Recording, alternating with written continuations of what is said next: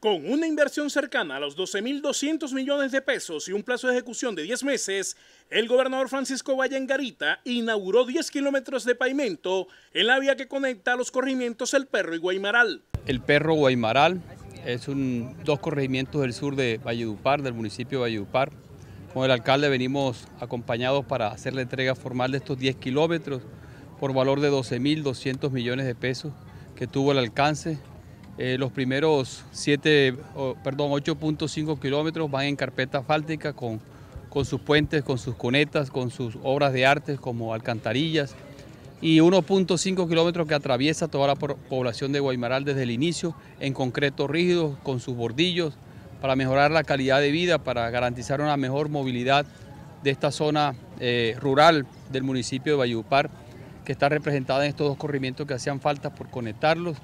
y tenemos unas proyecciones hacia Vallito que son casi 13 kilómetros más. Si Dios nos da fortaleza y nos da la sabiduría y especialmente los recursos, los tenemos en diseño para poder darle continuidad y conectarnos con la troncal Codazzi Cuatro Vientos. Esta infraestructura vial beneficiará a cerca de 4.500 habitantes de estas dos poblaciones ubicadas en el sector sur del municipio de Ayupar, permitiendo reducir los tiempos de viaje al mejorar la movilidad y el transporte de los productos agropecuarios